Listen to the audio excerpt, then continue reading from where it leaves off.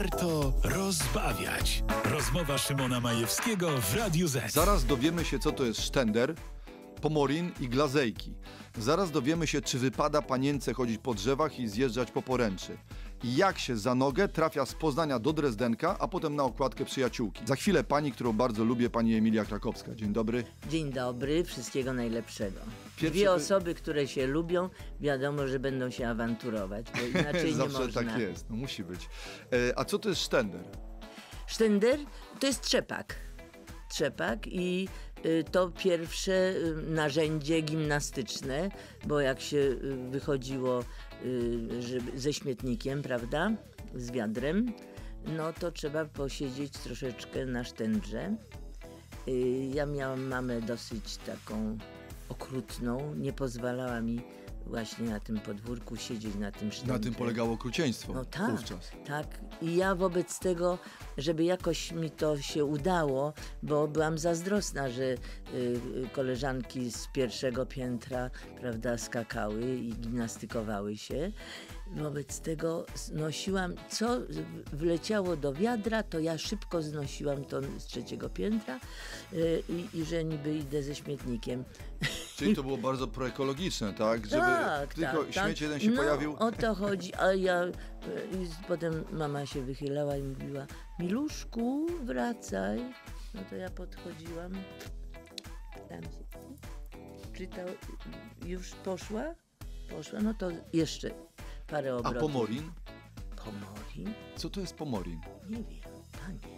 Jest w książce aktorzyca. Pomorin. Tak? Pasta. A, pasta pomorin, tak, Oczywiście. tak, oczywiście. Y, y, pomorin i, y, i teraz y, aktualny proszek do, y, y, do prania. Też y, To były pasty, bo ten pomorin to była pasta do, do podłóg. Taka do podłóg, wtedy proszę pana, bo najpierw, ale powiem panu jak to się robiło. Najpierw pomorinem, teraz już mi pan przypomniał, no Tak. przecież w końcu mam prawo zapomnieć. Y, Pomorinem malowało się deski, prawda, na czerwono, ale to było matowe. I na to przychodziła, y, przychodziła pasta y, y, biała albo Takie jakaś czerwona. skomplikowane to było. Najpierw Tak, podkład, tak, potem tak, coś, a tak, potem tak, jeszcze y, tak. było też froterowanie, czy nie? No tak, trzeba było froterować. No to dobrze froterować kapciami, a dzieci na, na pupie jeździły. Mężowie jeździli tak jakby troszeczkę, tak jak, taki trochę jakby współczesny Nordic Walking, albo tak jakby na No nartach. tak, tak, tak. Prawda? E, Można, można było tak jeździć, ale chciałam panu powiedzieć, że to zobaczyłam, że tak było wy- wylakierowane, bo, bo to teraz tak się robi też, na wsi nieraz nie- robią, e, że e, lakierują, prawda? Ten, ten e, pomorin matowy, to, to na No mokro, tak. na mokro, taka, tak jakby farba. Ale powiem panu, mieliśmy taką przygodę, y, że byłam na takiej y, no, domówce, teraz się do, nazywa domówka. Ale to jest, y, y, y, w czasach jesteśmy właśnie Pomorinu y, Y, i dawno, dawno Sztendra. temu, tak, i Sztendra. czyli Poznań. Y, y, I Poznań. Y, Byłam y, na, na takiej y, potańcówce y, w domu koleżanki, która przygotowała, ale nie wypastowała, bo mówi, że przyjdą i będą, y, y, więc tylko tym pomorinem. Proszę sobie wyobrazić, to były czasy, kiedy jak chcieliśmy się dobrze ubrać, to każdy miał białą bluzkę, a, panowie białą koszulę i, i cześć. I, i Wszyscy lądowali na ziemi, lodowisko Nie, było. nie, kochany. To było matowe i to był proszek, rozumiesz? I jak zaczynaliśmy tańczyć, to był pył, kurz. I, i, Okej. ta, I te bluzki, wszystko to było e, po, e, po prostu czerwone. No, E, a jeszcze z tych wspomnień poznańskich to Tak. y, glazejki. Glazejki to rękawiczki. I panna, panna z dobrego domu y, musiała mieć glazejki. Tak, y, y, wie pan, a potem już y, mówiono o tym, y, że Rosjanie domagali się trzeciej glazejki. Dlaczego? No, żeby pamachiwać. A Pani Emilio, a mm, jeździła Pani po poręczy? No tak, teraz właśnie wczoraj zauważyłam. Jak to teraz właśnie Pani zjechała Teraz, na poręczy? nie, nie, nie przepraszam. Przepraszam, że ja tak latam, ale, Ale proszę. y, latam. y, Może pani y, latać, jasne. y, ponieważ byłam w szkole na wyborach I, I były poręcze. I ja tak spojrzałam i oczywiście co metr jest kołek. Dlatego, że te poręcze były Obmyślała sobie pani duże utrudnienie. duże utrudnienie. Y, Kiedy ja byłam, e, jak to się mówi, w latach y, szkolnych i przedszkolnych, to one jeszcze nie były zakładane. Panie Emilio, porządna, porządna Wielkopolska, a panią ze szkoły wylano. No, dlatego, że musi być porządek, proszę pana.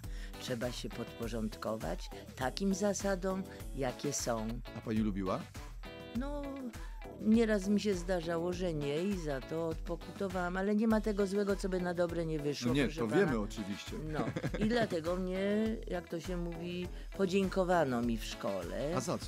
za to, że y, za bardzo byłam zafascynowana y, teatrem i był taki teatr Kuźnica amatorski. Ale za teatr wyrzucają? Wyrzucali? Tak, za, za lekturę, proszę pana, to, to był y, Konrad Wallenrod, Maria Malczewskiego, a ja tam nawet y, tylko y, statystowałam, bo byli inni wspaniali aktorzy, bo z tego teatru wyszło paru wspaniałych ludzi.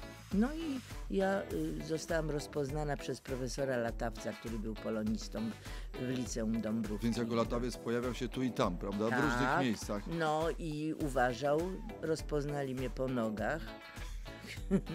bo ja tutaj Ale to też, że pan byłam. profesor spoglądał na nogi, bo to powinien na co No ja innego. paziem byłam, no wie A, pan, okej. e, e, poza tym charakterystyczne mam nogi, z, e, z którymi walczyłam, a potem mi w szkole teatralnej powiedziano, że albo je trzeba ograć i powiedzieć, że są takie, a nie inne, A nie że nie głos uk- mam, a nie ukrywać, bo to wtedy Ale wszyscy co, się i on za te wstydzą. nogi wyrzucił, tak? Nie, tylko dziewczyna w Poznaniu, w liceum, te 150 lat temu, o godzinie 8 nie była możliwość, nie było możliwe, żeby y, być, y, jak to się mówi, na ulicy. A jak Trzeba było teatr gra wieczorem z reguły, prawda? Tak, I za, no, to, i ma próby. I za to była zsyłka do Drezdenka, tak? Y, No, po prostu usunięto mnie, ale ja musiałam zdać maturę, bo ja całe życie marzyłam o tym, żeby być w szkole teatralnej w Warszawie.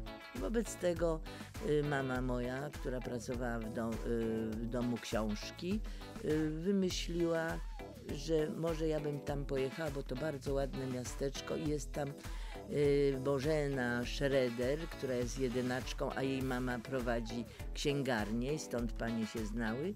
I ona jako jedynaczka mówiła, że chciałaby mnie poznać. i być- No to mama mnie tam posłała. Pani, y, pani Emilio, bo tak, y, y, Poznań dał pani, mm, y, wiemy co, y, wspaniała rodzina, przyjaciele, y, artyści, ilu tam artystów na metr kwadratowy y, u pani w Sporo, mieszkaniu przy, przypadało? Sporo, bardzo dużo, bardzo dużo, dlatego że y, sąsiadką była moja matka chrzestna, klawesynistka Zofia Bręczówna, która była potem y, profesorem w szk- y, szkole muzycznej, bardzo cenionym.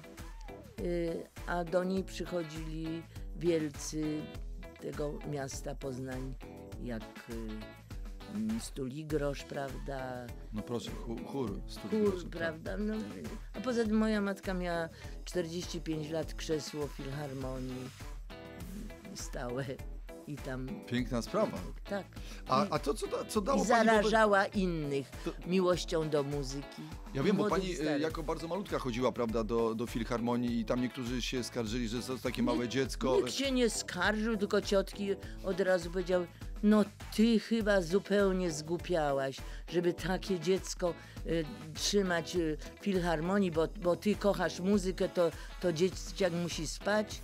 Niezb- niezbyt ma wygodnie, bo nie ma ani jaśka, ani piżamy. Y, natomiast matka moja uważała, że y, im wcześniej zacznę muzykę kochać i będę.